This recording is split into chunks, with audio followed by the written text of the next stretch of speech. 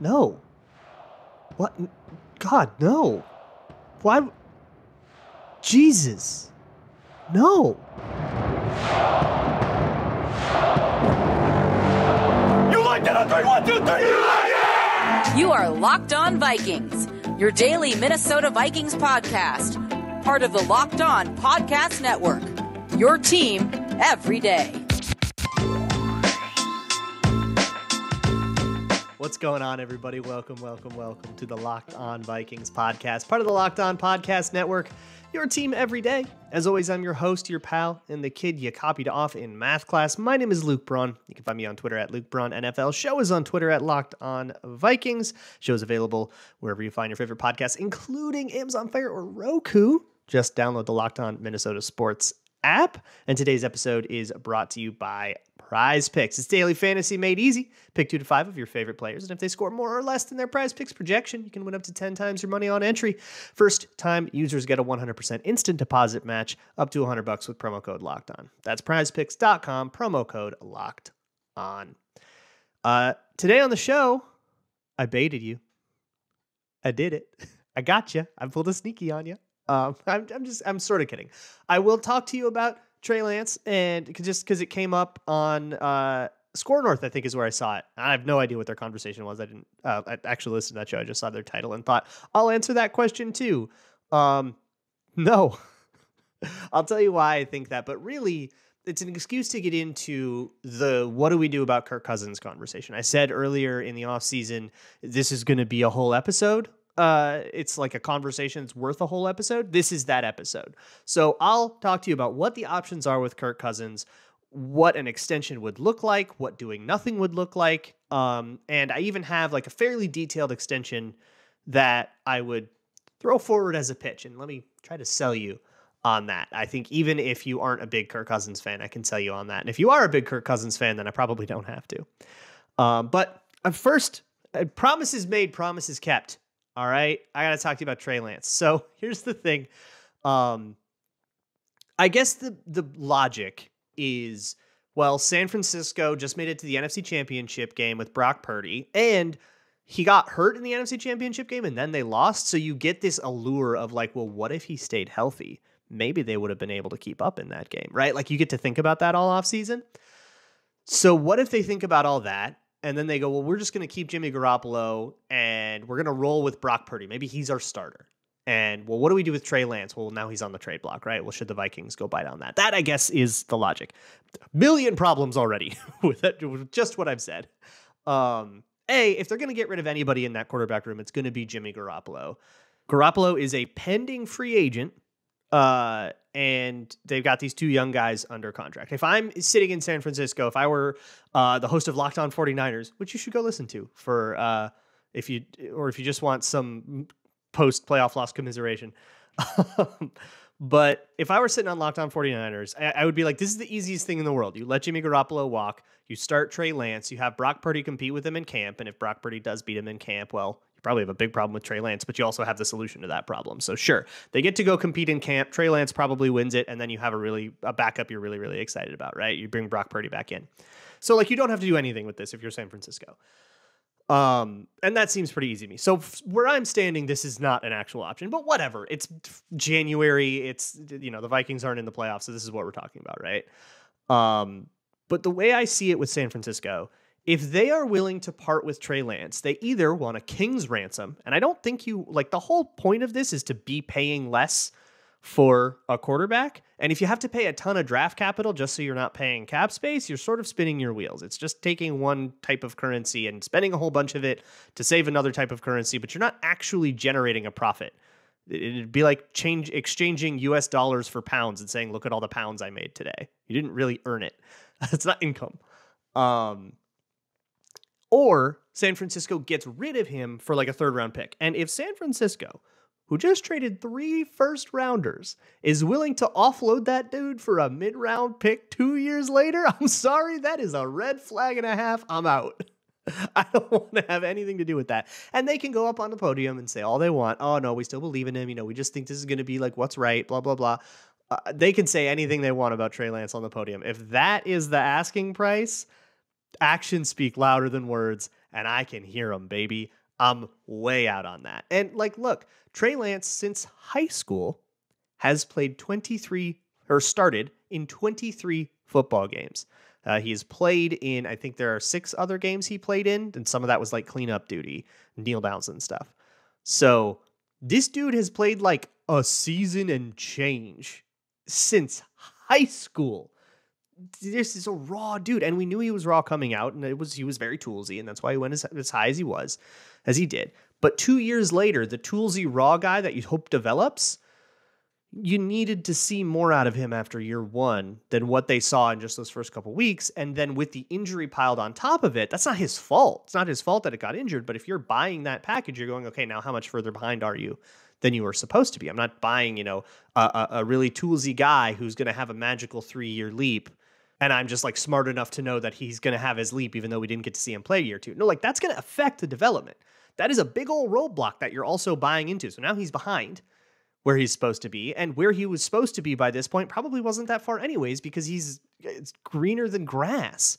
So not only do I not see it lining up at all, it's also a total fantasy land thing because San Francisco's not going to do that and the resources don't make sense. I think the best shot you have is somehow working out a trade with Kirk Cousins being involved. And then you're just trading like Cousins for Lance and you're going to do a weird Jay Cutler, Kyle Orton thing with it. And that's, you know, and then you like hope for the best. Um, but I guess that kind of brings me to what are the options with Kirk Cousins? So I guess by rule, they have three, four options. Two of them are not viable. Those two are cutting Kirk Cousins, which technically by the CBA you can. You would eat a whole he all of his salary is guaranteed. You would not save a dime. You would just pay off the entirety of the Kirk Cousins contract in the 2023 cap environment, which would be like 48 million dollars. Um, which would be $12 million more expensive than it would be to do nothing with Kirk Cousins. So that's clearly not an option. You could trade Kirk Cousins, which is also not a feasible option. And I know, I know he's got the no trade. I know Russell Wilson had one too. All right. I'm aware. I know Deshaun Watson had one too. People tell me this all the time, but Deshaun Watson, those were horrible situations. Like those were very toxic situations. That player wanted out. Deshaun Watson wanted out and then, and then other hot stuff happened there that helped facilitate things. But Russell Wilson wanted out of Seattle. That was a broken relationship. The Vikings and Kirk Cousins have nothing like that relationship. Their relationship is very healthy and fine. There is no reason for Kirk Cousins to want to be out. There's no reason for him to even show up to a meeting about it. So it ain't happening. All right. If you if you're hanging your hopes for the offseason on Kirk Cousins getting traded to San Francisco, it ain't happening. All right. It, go outside and find a new dream. because that that's not going to come to fruition. Um, those are not viable options. The two truly viable options with Kirk Cousins are an extension of some sort to help get his cap hit down for 2023, or choose not to do that. And then you do nothing and you let him play on what is functionally a contract year. Those are the two options. So we're going to spend the rest of the, the rest of the show talking about those two options. What if you do nothing and what would an extension look like? What what is smart here. And to be honest, I don't know where I fall on those two options. I think I could probably be talked into either, and we'll see what the Vikings do. And I, I think I'll kind of decide how I feel about it then. Um, but I'll, I'll, give you the information that you need so that you can make that decision on your own if you are more convicted than I am.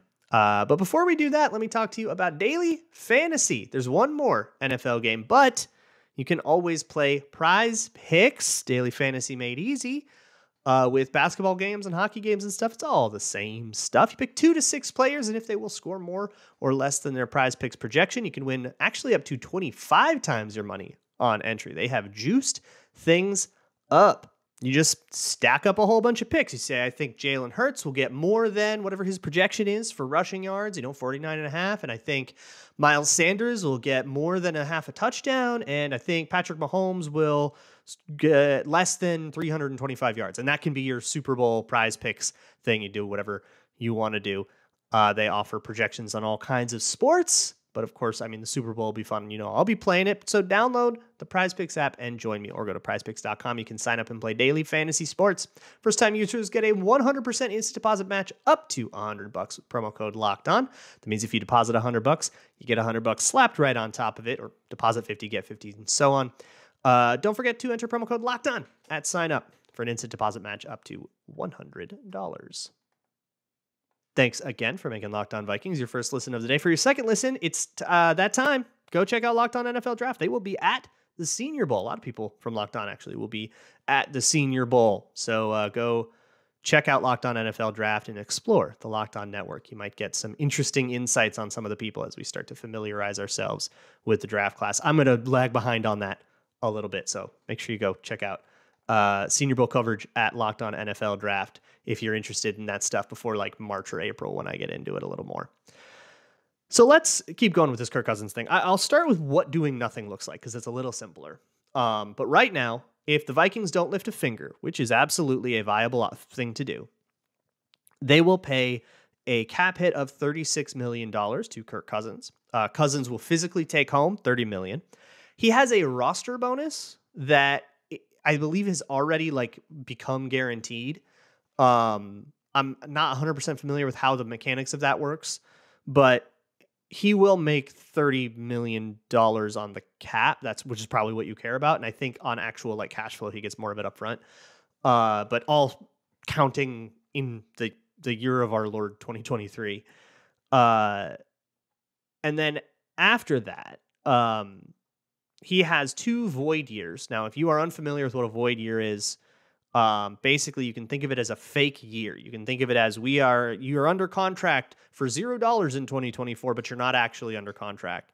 Uh, and you can stack like as many void years as you want. I think the Eagles had a contract where they stacked like 10 void years on top of each other.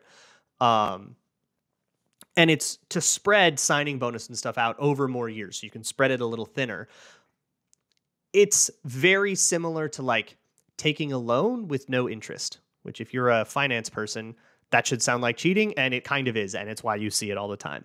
So, on the books as it stands, the Vikings owe Kirk Cousins or owe the salary cap 6.25 mil of Kirk Cousins' deal in 24 and that same amount in 2025, but his contract will void on in February of 2024, so after the 2023 season, his contract voids out. He becomes a free agent, and the Vikings have to pay off the rest of their debt, which is 12.5 million. Um, so that's how it'll actually play out. 36 mil this year, 12 mil next year in dead cap, and he walks. So if you're okay with that, and honestly, yeah, all right, that that could work. I could see that being the, the deal, right? Um, you have Kirk Cousins this year, right? You're not scrambling for a quarterback with the 23rd overall pick. You are you're not saying okay, like are, are we bringing in Jimmy Garoppolo? Because like that might be the bet. Like if you traded Kirk Cousins away for draft picks, you might be talking about bringing in Jimmy Garoppolo. Uh, maybe you don't want that. Um, maybe you don't want to, or maybe you want to draft somebody like Anthony Richardson, who is he's like the raw guy, right? The the Jordan Love of this class, the you know I, I, guess Josh Allen was that guy once. So sometimes that can work out great. Pat Mahomes was one.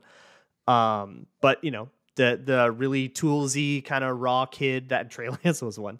Um, the raw kid that needs a million different things fixed, but if he does, he's the best quarterback of all time. Um, it, that's what I get from Anthony Richardson. Although again, not into the draft guys at all. So correct me if I'm wrong, or sub in whatever draft prospect you want. Maybe you draft that kid this year uh, find a way to draft him, and then he sits behind Kirk Cousins for a year. Then Kirk Cousins walks. You take a $12.5 million dead cap hit. That does sting. But remember, in 2024, the cap will be $256 million. So it's okay. it's it's doable. Um, and then you have your fresh rookie come out year two with a year of experience under his belt, and then he goes. Um, that would be the way that plan works, and it's perfectly viable. I think I can do better with an extension. I think the plan that I have here is one that I would prefer, but I could pretty easily be talked out of it. And I also am very open to like other ideas. So let me know like what you want to do with Kirk Cousins, but don't say trade him because that's a fantasy. Here's what I don't like about doing nothing. The cap gets a lot harder to deal with, right? When I did my uh, salary cap doomers article, it involved extending Kirk Cousins, and that saved 23 million. It was a really way more aggressive extension, but that move basically allowed me to keep as much of the roster as I wanted intact. Uh, and I could have kept more of it intact if I wanted to keep those players, but I decided that I didn't, like on merit. so not having that available is obviously going to be an issue here.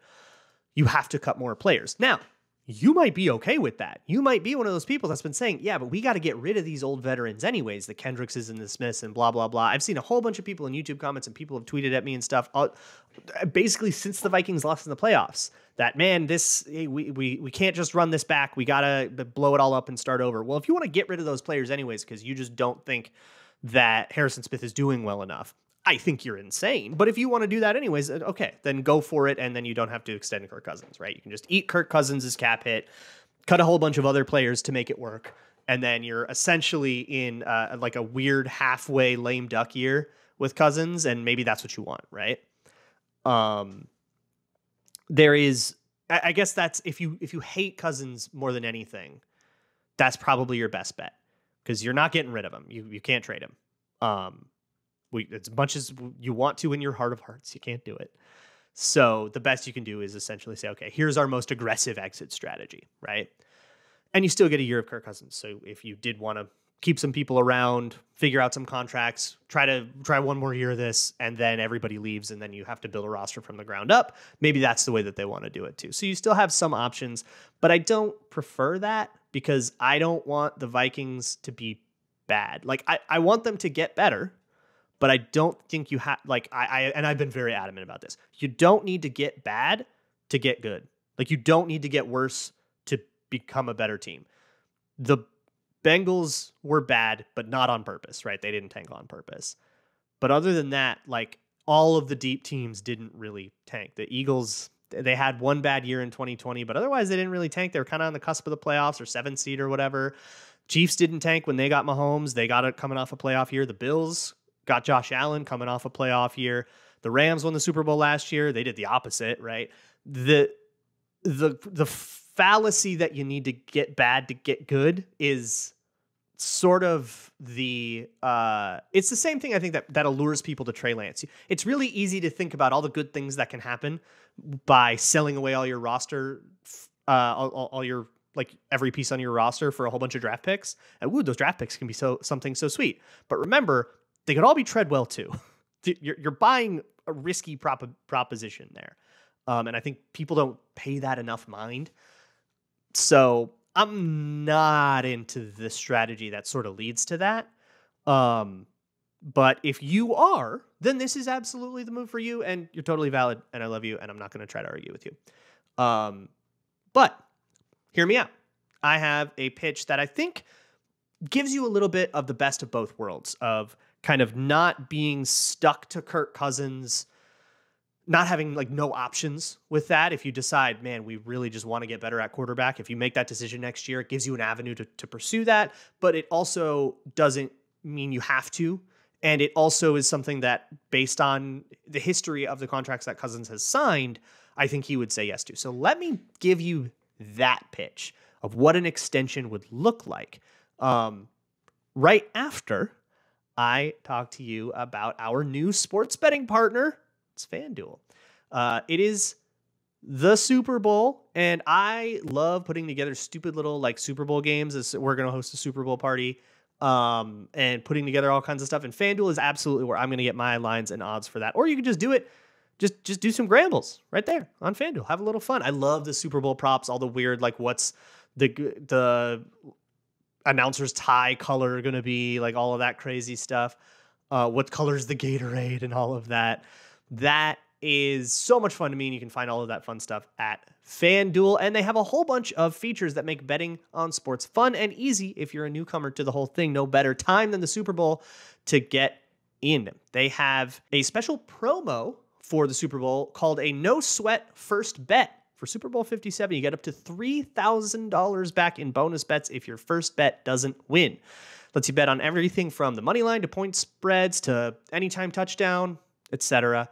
Uh, the FanDuel Sportsbook app is safe, secure, super easy to use, and you can get paid on your winnings instantly. So join FanDuel today at fanduel.com slash locked on to, to claim your no sweat first bet on Super Bowl 57. That is fanduel.com slash locked on. Make every moment more with FanDuel, official sportsbook partner of the NFL.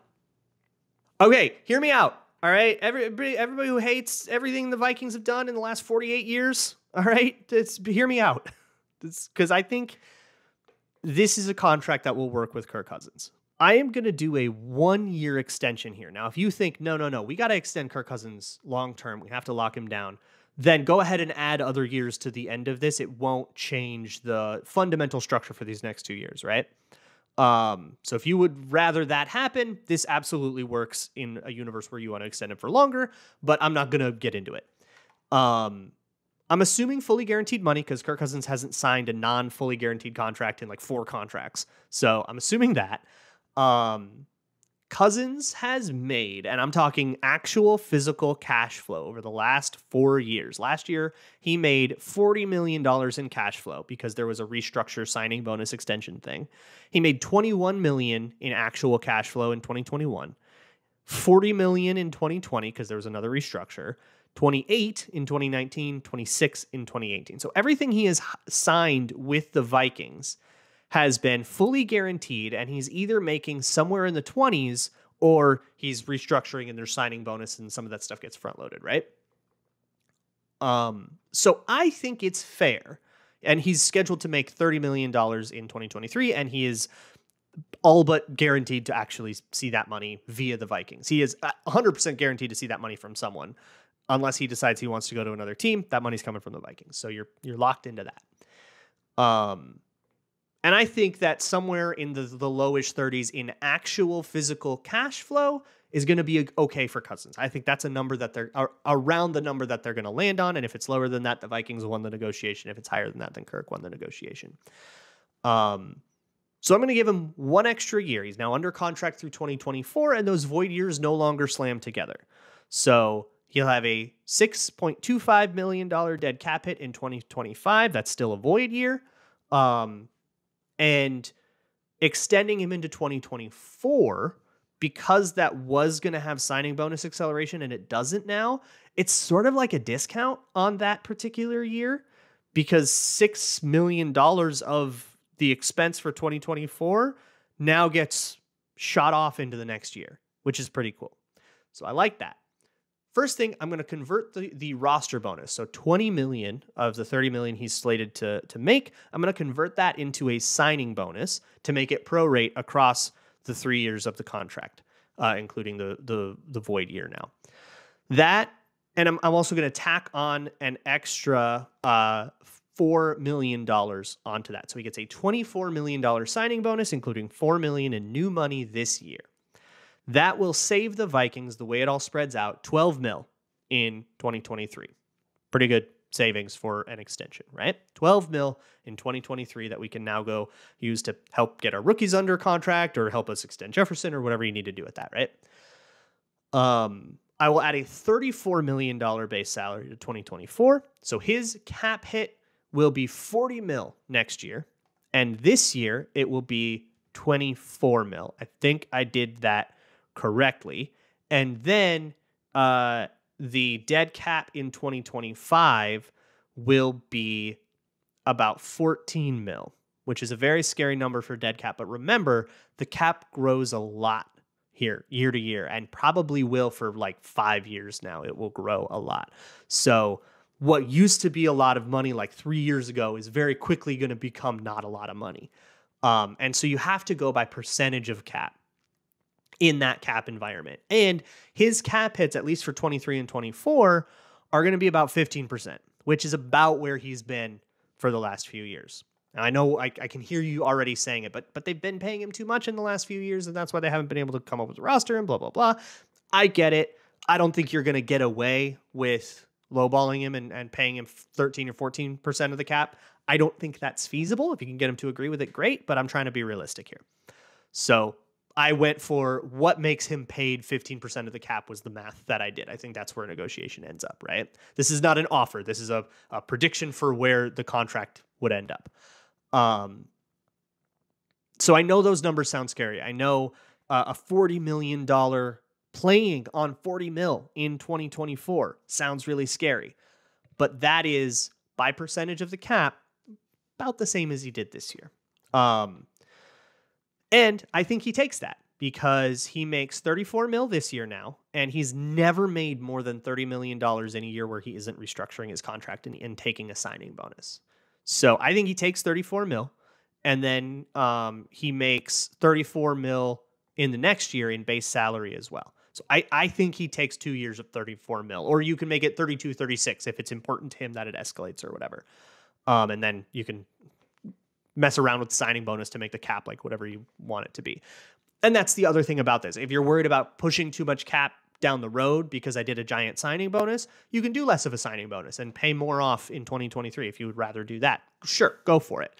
Uh, or if you would, if you really want to minimize the cap hit in these two years and say, well, this is a two year window with Kirk and I really want to maximize it. I really want to get the most talent around him possible. You can kick more cans down the road and then say, well, in 2025, he's leaving anyways, and we're probably screwed anyways. So yeah, let's eat a giant dead cap hit in 2025. Why not? And I'm pretty sympathetic to that as well. You could also add another void year if you would want to start using 2026 for this. I think that would also be fine. I don't see it as necessary, but it's all fine if it becomes necessary. You can do all that stuff. So, we now have Kirk Cousins under contract for what I'll call a fair amount uh, for the next two years, and then you draft Anthony Richardson. Now he's got two years to to develop. And the other part of this is I'm asking him to rip up the no trade as part of this, um, so that if Anthony Richardson does end up being good, and you can probably see that within a year, right? Like he's not going to beat out Kirk Cousins right away. I think most people understand that he's not going to be ready to play his rookie year, right? So you're you're redshirting him, and everybody understands that, and we'll be okay with that. But then you get to training camp next year, and let's say he's playing really well. Find whoever's the most desperate, and you can probably offload Kirk Cousins and a whole bunch of that guaranteed salary and a whole bunch of that cap space, and um, you know, kind of move forward from there, and probably get some draft picks back too, because you can get somebody whose quarterback just got hurt or who is in a bad situation that they didn't think they'd be in or somebody is worse than they thought or whatever, right? Um so it gives you that option, the option to kind of transition to a young kid. If he's ready early, you can deal with that. If he's ready, if he's not ready after one year, you have a second year to try to develop him more. And then by year three, all right, you're in, you're with the rookie or bust. Or if you really want to, okay, you can. You're you're now you're negotiating with Kirk Cousins at, on the cusp of him for hitting free agency with void years. Teams have been in worse spots. That's not ideal, but if that's the worst case scenario, that's not a bad worst case scenario. Um, what I wanted to do with that was kind of show you, okay, here is a way where you can kind of have your cake and eat it too. You can make it so that Kirk Cousins isn't playing on a contract here. That's going to be important to him. He cares about that.